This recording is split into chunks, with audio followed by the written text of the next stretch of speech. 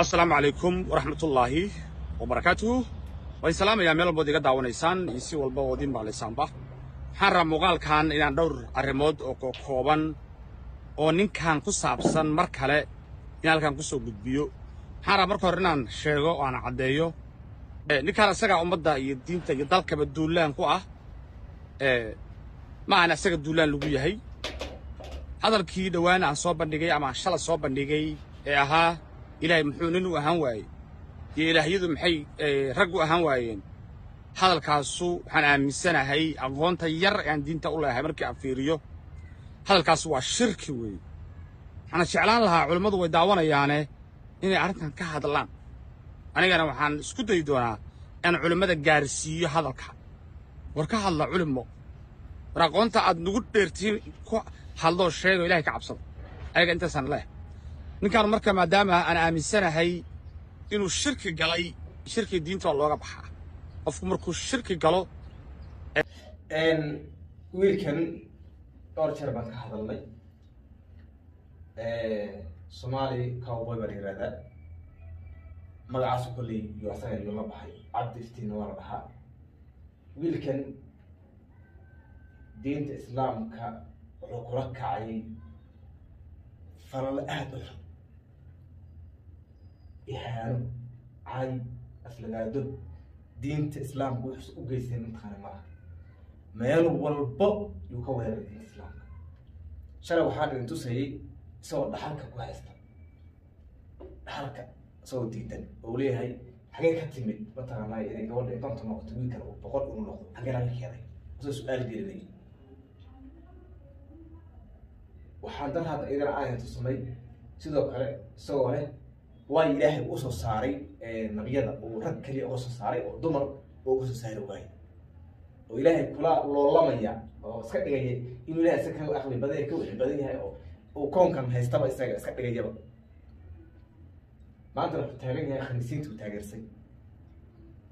Oo ka dhigay xataa soomaalida inay mataqana khaniisiinta ku daafiilsan yihiin oo isku leen ay ku jiraan laga tashanay sida carruurtooda soomaalida ah dhanka ku beeri lahaayeen inay ku beerayaan khaniisiinta iyo inay ku beerayaan baakii carruurtan hadday ka tashanayaan waxaasuu sheegaya waxaa kaloo isla muuqaalka qaybtiisa kan ka mid ahaa in uu gaalada u kala saarsaarayo waxa la yihahda suufi iyo wahaabi. Oo uu leeyahay suufiyada waxay taageersan yihiin matalan khamriga iyo niikada iyo balaayo waxaan jirin meeshan uu ku akrinayo marka ninkan nin fogaaday weye oo gaalnimadiisa xitaa muxuu ahaa gaalada waaweyn ee caddaystay uu ka fog yahay.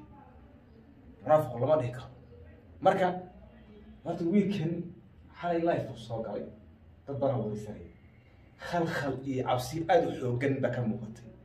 Waayo qofka sidiisa mataqaanay inta badan munaafiqa weyn ah islaamkan ku qaraabanaya gaaladan la qaraabanaya markii la qabto wuu khalkhalaa cabsi xoogan baa mataqaanaya soo food saarta. Sidii ku dhacday cabdullahi bin umay ood wada garanaysaan oo kale yu mataqana yuu noqday ninkan hadalla xalay u dhahay wuxuu dhahay aniga weligay diinta shaki igama gelin. Haddana wuxuu markii u raaciyey raaligelin baan ka bixinayaa wixii aan sameeyey. Weligay shaki igama gelin raaligelin baan bixinaya maxaa isku yeelkeena marka? Waxaa loo baahnaa inuu soo fadhiisto oo u yidhaahdo niman yahow dadkiinan muxuaha muslimiinta ah ee diinta islaamka haysto diinta islaamka khaladban ka fahansana saas saasaan ka fahansana ana muslim baan ahaa waa la ii gaaleeyey haddana waan muslimay. Ha loo qaateen wey laakiin inuu nagula andacoodo weliga shaki gama gelin shaki buu kaa galay dhaxalkaa shaki kaa galay. Oo aada ilaahay kula looloontay oo tiri suu ilaahay wiilkana boqol u siiyey gabadhan konton u siiyey laba ilaahay kula looloontay darajadiisii ahaa in dumarkii see loo dhiwaay mataqaana nabi oo kula looloontay loola madla gashay saddex gaalada ku raaligelinaysaa khaliisnimo in mataqaana aada waxaynayso marka cabdi iftiin xaalkiisa ma ma ma ma weli mataqana ma dhowo weli ma horta soomaalidu waxaa weeye qabyaalada iyo waxaan waa waxa iska antarbaqash bay fara badan tahay. Laakiin diinta soomaalida lagama maro. Cabdi iftiin taasuusan ogeyn. Soomaalidu diinta lagama maro. Qabiilka iyo qabyaaladda iyo wax walbaba diinta ka hormarana soomaalida marka hadda ninkan cabsida xooggan ee haysato waxaa weeye wuxuu is leeyahay berri ka maalin seynta u soo fariisato soomaaliya uu sheegi mana u sheegi doono ninkan social media saasu kaga baxaa horta. Waa ka baxay. Caadi uga baxay social media. Asaga iska bixiyey marka gaalada uu ka qaadanayay iyo wixii mataqana u haysiinayay iyo barnaamijka ay marsanayeen kulli mataqaanaa waxaa weeye wax baabaa u baabaa kulli. Hadda marka waxaa u haboon wiilkan inuu ilaahagiis u soo noqdo. Gaalada waaweyneed baa mataqaana diinta ku qanceen bay soo muslimayaan isagoo diinta ku dhashay inuu aflagaadeeyay diinti dee mataqaana wax xaq ah ma aha. Waana ka fog yahay inta hadda aan ka arag wejigiisa markaad fiiriso. Cabsi zaa'ida ka muuqato oo ah mana ku diri doonaa. Soomaalida ku diri doonaa. Ma kuwa kale ku diri doono? Waa diinta soomaali keliya mataqaanay ma muslimiinta soomaali keliya ma aha. Waa intaas biljim waa muslimiinta. Oo nooc walba leh marka laakiin annaga marka soomaali aan nahay noocan oo kalaa mataqana naga dhashay oo diinta ay aflagaadeynaya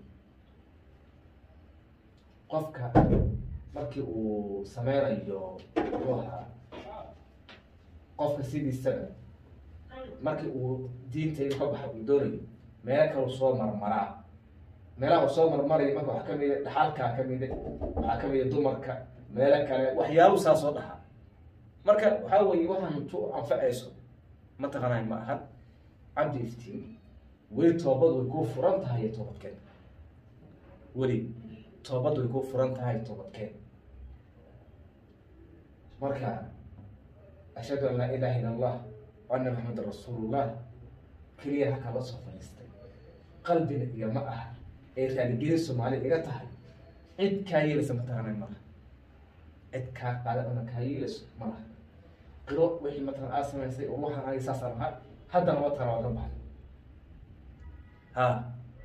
Marka cid waa aqbali laakiin intaad la meereysanayso wax aan soconaynin cid kaa yeelaysa kaa qaadanaysa mataqaanay malaha soomaalidu waxaa weeye ninkan weerar bay ku qaadeen. Awal wuxuu noo soo dhuntay wadaniyad iyo waxyaabo aan jirin buu noo soo dhuntay laakiin ugu dambeyn fashil buu cagaha la galay oo la arkay. Meesha xaggiisa uu marayana waad aragtaa cabsida xoogan iyo dhibaatada ka muuqata ninkan wejigiisana way idiin muuqataa marka waxaa weeye wixii barnaamij oo ka soo kordhay waa soo qaban doona haddii xaalkiisa wax iska bedelana dee iyagana intaan ka hadli doona oo annaga mar kastaba waa ku waaninayna in uu waddada saxda uu soo qaado oo waddada khaldane uu qaaday uu ka soo laabto. Intaasaan ku soo afkayna barnaamijka daawadayaal la wadaag saxbadii